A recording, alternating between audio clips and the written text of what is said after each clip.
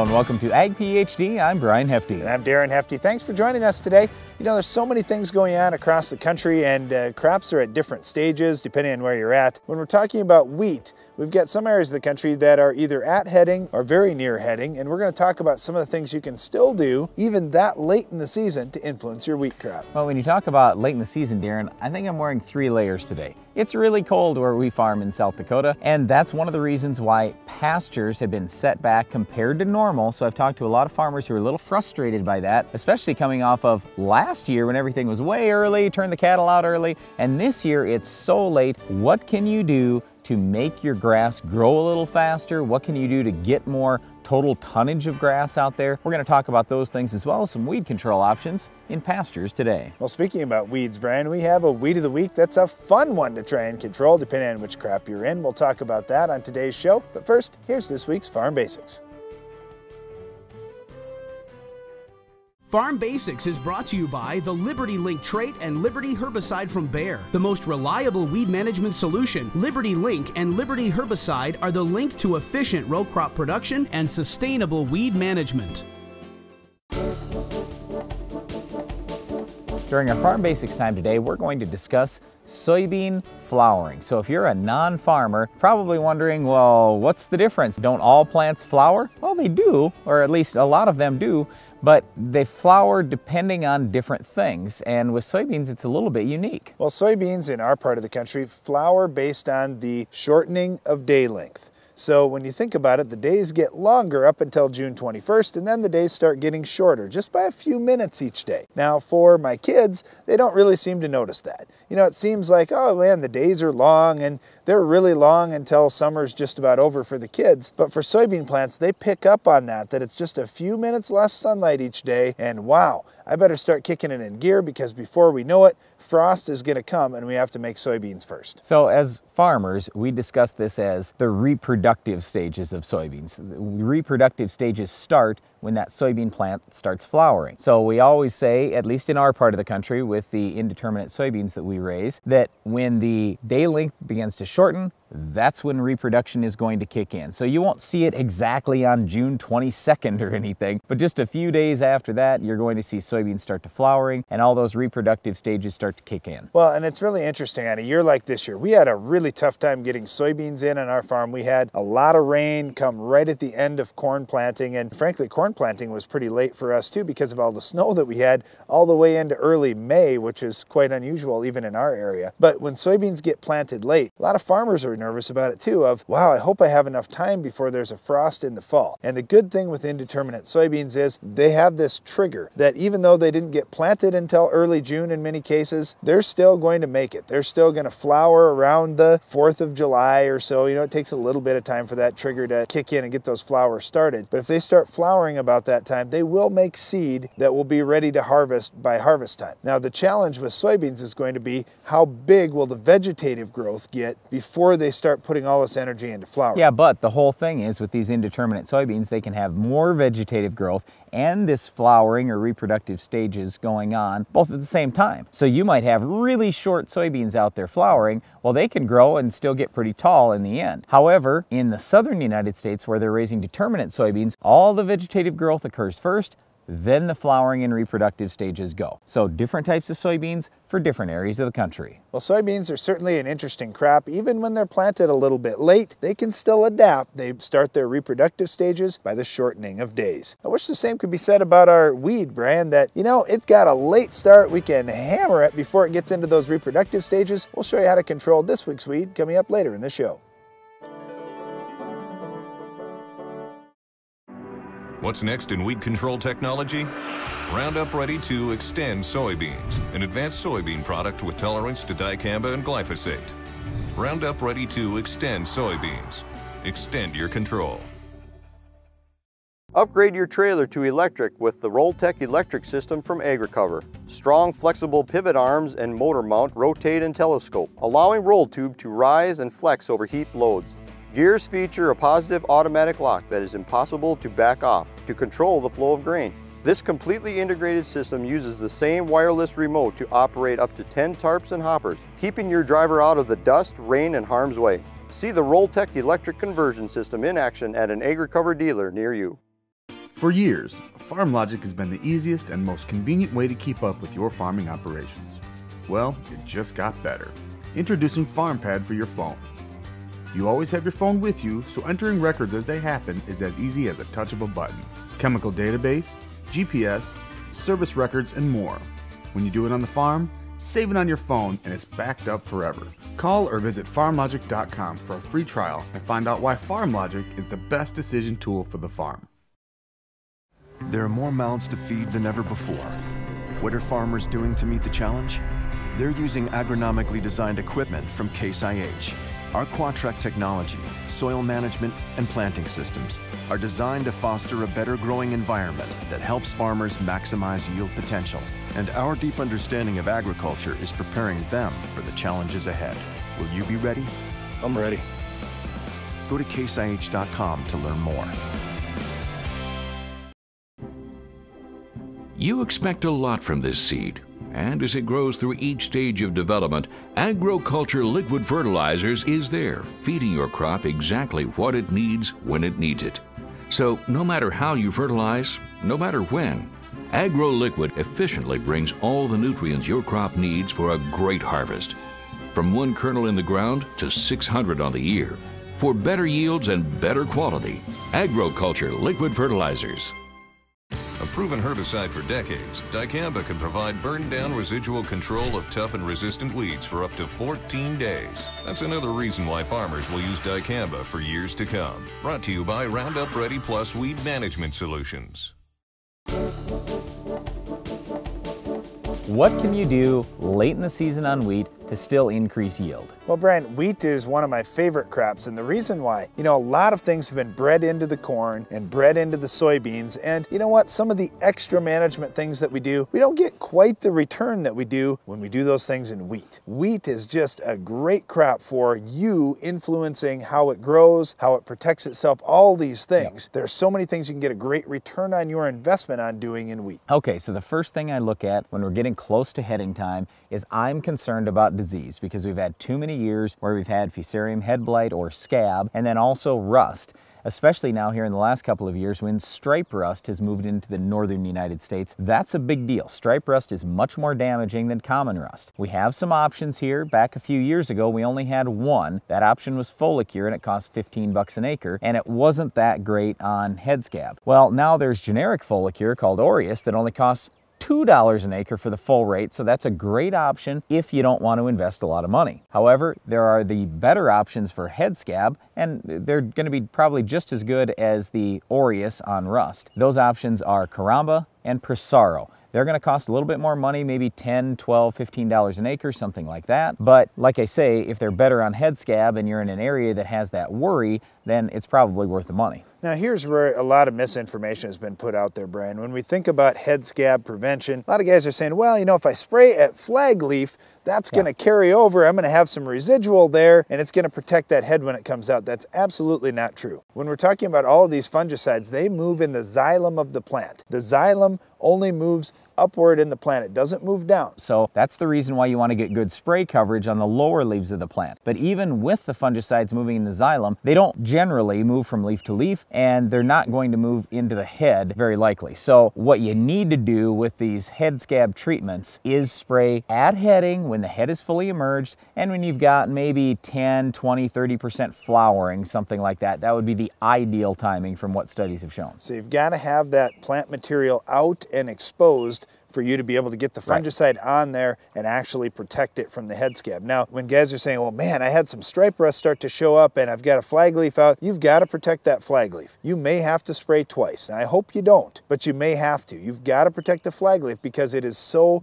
big a factor in determining what your yield is ultimately going to be. That flag leaf is the biggest generator of photosynthesis that's going to feed that head on your wheat plant. So you've got to protect the flag leaf. Now, hopefully you can make it till that head comes out and starts flowering before you need to spray, but just in case, you may have to have sprayed twice. Okay, and the other thing is you're going to need to spray before you see disease. So like Darren just said, if you're starting to see disease, I'd forget all about that. I'd just automatically spray it flag leaf. I'd automatically spray it heading if you're going for top yields. Now, if your yield goal is 30, I mean, that's fine.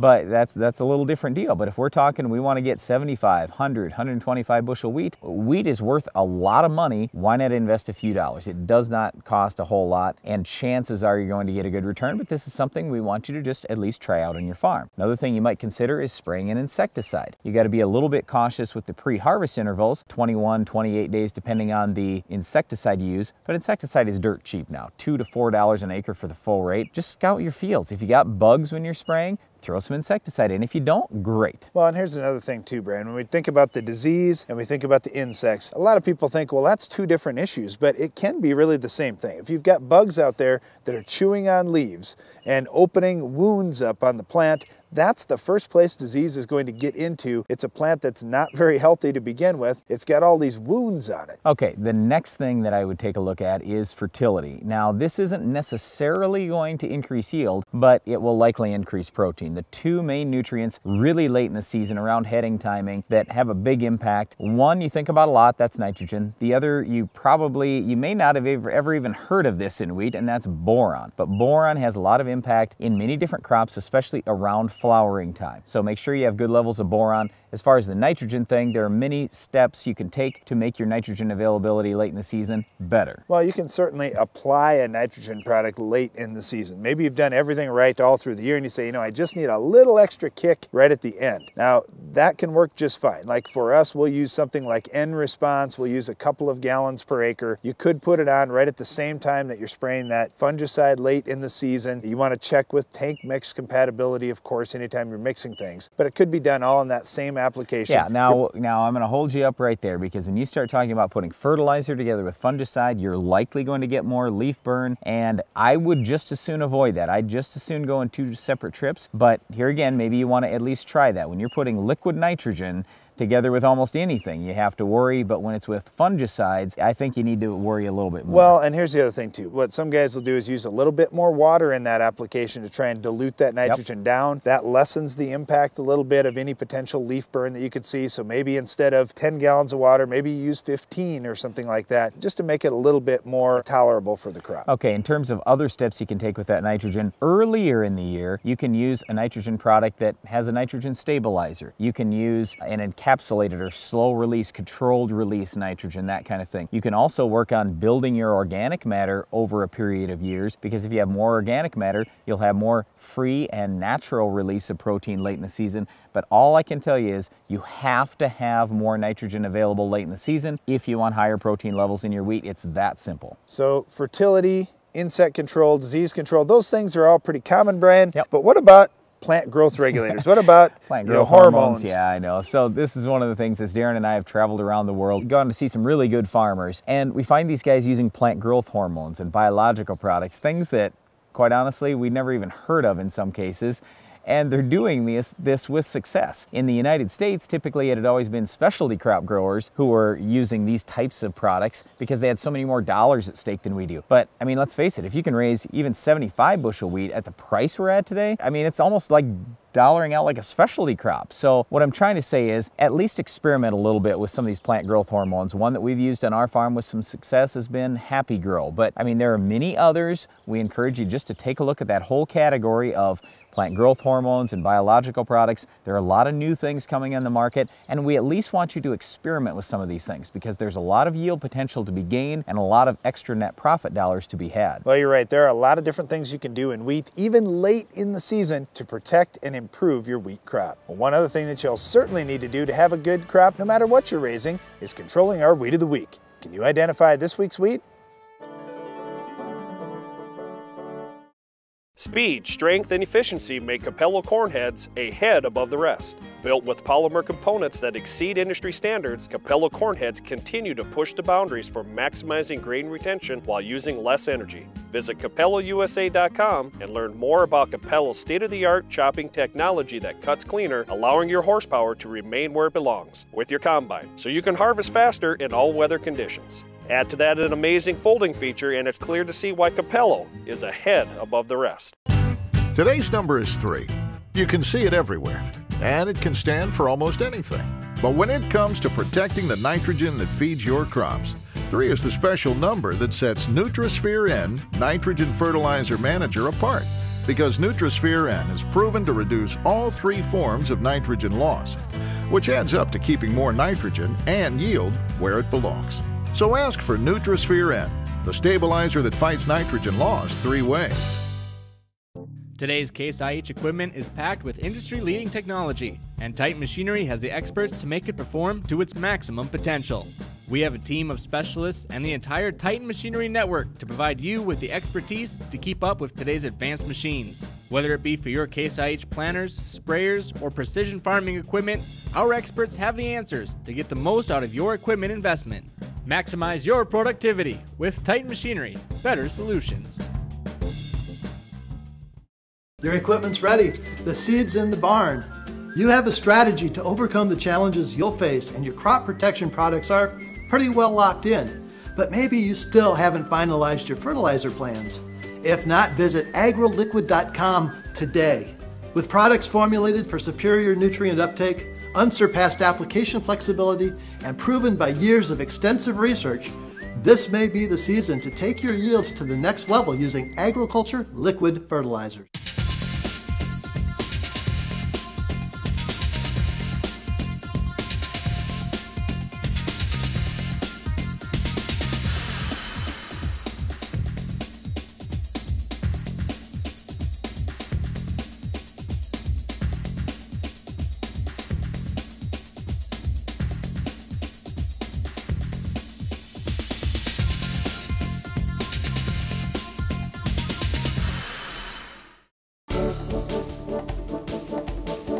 Well, Darren, it's time to talk about pastures. And before we got going today, Darren just said, Isn't it awfully late to be talking about pastures? But here's the thing everything got delayed this year. So a lot of guys, even right now, are still wrapping up planting soybeans in the, the northern United States. And the way it works for most crop farmers is we get the crop in, we take care of the crop, and then, oh yeah, we got to do something about the pastures. And I think maybe we've got that a little bit mixed up. We need to invest a little more time and energy into those pastures. We can produce a lot more grass. Well, here's the thing, Brian. You know, right away early in the season, you've got an opportunity. And we talked in the wheat just a little bit about these plant growth hormones or plant growth regulators. There's a very good one that can be used in grassland. It's called RyzUp SmartGrass. Yeah, we've tried that Rise Up on our own farm a couple different times. And where it really fits, where we've identified this, is real early in the spring or late in the fall. Basically, you can get an extra month of growth in the spring or at least a couple weeks of growth in the spring, extra two to four weeks in the fall. It's not the type of product you want to go use in the middle of the summer or anything like that. No, you got to do it when it's cold. It's mostly effective when it's 40 to 60 degrees at increasing plant growth. Yeah, once everything is good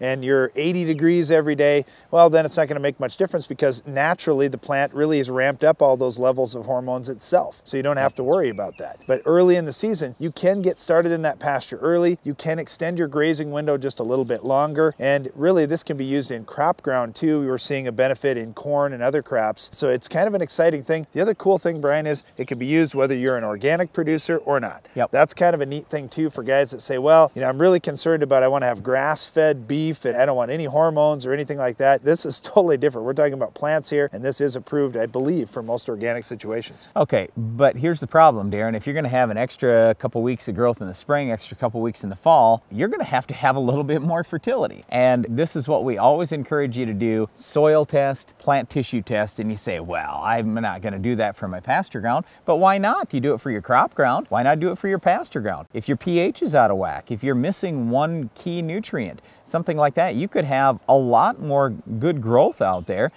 It doesn't cost much money. Just take a few soil samples, pull a few plant tissue samples as you go throughout the year, and see what your crop really needs. Well, I like this. You know, some guys will say, well, Grandpa never fertilized the pasture and Dad never fertilized the pasture. I said, wow, you really better fertilize that pasture then because it's probably depleted. When you think about it, you've got animals out there that are feeding off this and they're taking a lot of that away. Well, maybe. And if they're staying out there, then the manure is back out there and that's fine. But still, you might be short on one thing. So I see a lot of guys just throwing nitrogen out. And don't get me wrong, that's very important, but all we're saying is at least do some soil testing and tissue testing, invest a 100 or $200 and find out, hey, maybe I do need one other thing and I could have a lot more grass production. I just kind of equate it to your lawn too. You look and you can see, uh, you know, some lawns that never get any fertilizer really don't look very good. And then you've got a lawn right next to it, you know, maybe it's the next neighbor over in town and their lawn looks great because they're putting on plenty of fertilizer. I mean, you can see big differences in pastures too. When you're driving down a gravel road and on one side there's a pasture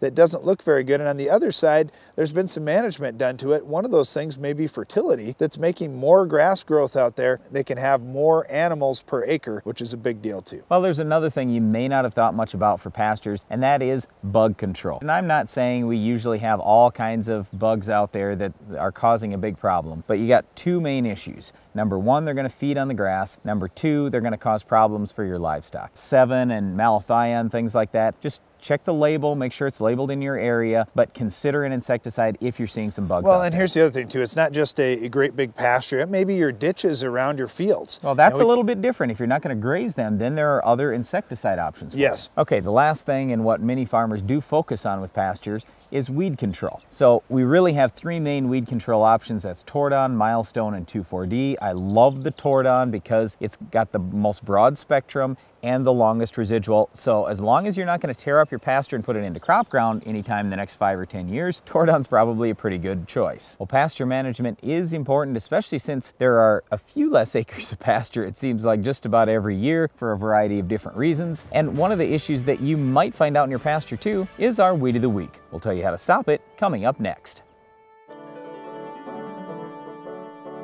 The Weed of the Week is sponsored by the Enlist Weed Control System from Dow AgroSciences, a new herbicide and trait system that will build on glyphosate.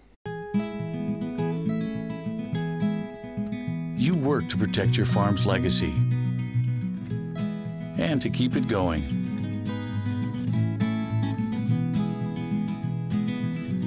Introducing the Enlist Weed Control System, an advanced herbicide and trait system that will build on glyphosate for exceptional control of tough weeds.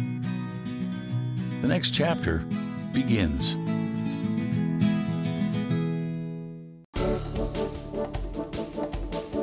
Our weed of the week is Pennsylvania Smartweed. It's a tough annual weed. The thing that I don't like about it is it's got kind of waxy leaves. It's hard to stick herbicide on there. So it's kind of a tougher one to kill in well, there, cases. there are several different types of smartweed. When you think about swamp smartweed is a perennial. It's kind of hairy. So it does look a little different than those smooth waxy leaves of Pennsylvania smartweed. Then of course you've got lady's thumb smartweed where it has kind of a dark imprint that looks about like a thumbprint on the leaf. So you get all these different smartweeds out there. We're talking about Pennsylvania. One thing about Pennsylvania that you'll notice too, it has an ochrea down at the base, right where those petioles hook up to the stem. You'll see a membranous wrap kind of around the stem. They call that an ochrea. So there's kind of some interesting things about Pennsylvania, but it is an annual weed, so we can control it with a lot of different options. Okay, so let's start in corn. What are your best options in corn? Well, in corn, if you're doing a burn down, I really like Verdict. Balance Flex also works good in a burn down. As far as long-term residual control, I like Balance Flex the best. Okay, post-emerge? Well, post-emerge status is by far the best on Pennsylvania This is one of those weeds, if you've got that as your predominant weed, choose status, it's better than the others. Hornet's not too bad. Now some guys will say, well, I'm gonna use my Hornet as triple flex sure start, then come back with status, that's fine too. Mm -hmm. Okay, how about in soybeans? Well, in, in, soybeans, I really like Authority MTZ. And the reason why, the Authority portion is pretty good on it, but the MTZ is metribuzin, and that also has some impact on the smartweed. So you got two different modes of action. That's good pre, but what are you going to do post if Roundup doesn't get it? Now, Roundup still is getting it in most cases, especially if you go higher rates, but let's say your Roundup didn't work. Okay, well, post-emerge, if it's cold like today, you aren't going to like my best option. My best option is actually old Basagran. It works really well when it's hot and humid. We typically say you need at least 150 points between temperature and humidity. So if it's an 80 degree day, you need at least 70% humidity for that Basagran to work its best. Okay, and finally in wheat, real quickly, pre well, in and wheat, post. Pre, we like sharpen. That's by far the best if you can burn some down and get a little bit of residual. And then post-emerge, I like Huskie, but I may bump that rate up towards the higher end of the label. Well, that's it for our Weed of the Week Pennsylvania Smart Weed, but stay tuned. Iron Talk is coming up next. Iron Talk is brought to you by Case IH. What are farmers doing to feed the planet? They're using Quadtrac technology, soil management, and planting systems from Case IH to foster a better growing environment that maximizes yield potential. Visit caseih.com to be ready. We'll solve one mysterious tank contamination issue on today's Iron Talk. Now, if you didn't rinse out your spray tank and you switched from corn to soybeans and you dinged the beans with some contamination in the tank that you didn't even try to get out, it wouldn't be much of a surprise. But when you actually double or triple rinse the tank out and use tank cleaner and the whole works, it simply makes you angry if it didn't work 100%. However, there's more to cleaning out a tank than just getting the gunk off the sides. One thing we're running into this year, especially with the frequent showers that hit much of the upper Midwest through the month of May, is when product is left in a poly spray tank overnight. Sure, no one wants to get rained out and have to come back to finish spraying the field the next day or a couple days later. The problem is, if you have a herbicide sitting in the tank for an extended period of time, products like Roundup can actually have the time to act like a very good tank cleaner. You see, poly tanks actually have pore space within the poly. Your normal tank cleanout procedures may not be doing an adequate job of pulling past chemicals you've used out of those pores. The solution is twofold. Number one, after your initial flush out is done, then use tank cleaner. And when you use tank cleaner, fill the tank and charge the booms and let it sit overnight in your sprayer. Number two, try to never let herbicides sit in your sprayer overnight in the first place. Now you don't have to get direct injection, but that would of course be another solution as well. So just be cautious and realistic. If you have to leave a product in the tank overnight, you may have some issues. So from here on out, get serious about cleaning out your spray tank, even the pores. That's all for today's Iron Talk, and now back to the show. Micronutrients are not optional for plants, they are essential. TJ Micromix is a profit-proven management tool that ensures the availability of essential secondary and micronutrients. Formulated as a dry granule or liquid, TJ Micromix is plant available, easy to mix and apply. The synergistic fertilizer mix delivers consistent yield response on a variety of crops by complementing an NPK fertilizer program. Maximize yield on your farm this season. Call TJ Technologies or your fertilizer dealer and get your TJ Micromix today. For years, FarmLogic has been the easiest and most convenient way to keep up with your farming operations. Well, it just got better. Introducing FarmPad for your phone. You always have your phone with you, so entering records as they happen is as easy as a touch of a button.